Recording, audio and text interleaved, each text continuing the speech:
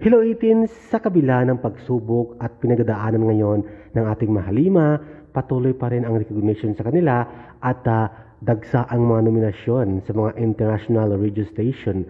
Ito nga sa Channel R radio station nominees, maraming uh, nominasyon.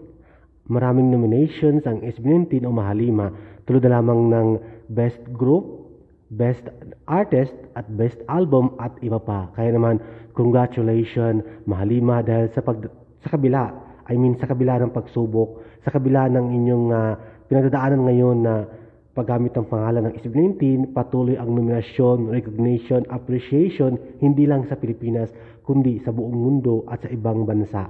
Kaya naman again, congratulations at boto na po kayo at bumisita at pumunta sa website, official website ng Channel R radio station na yan at bumoto na at doon lahat kung paano bumoto para sa SB19 o makalima. Again, congratulations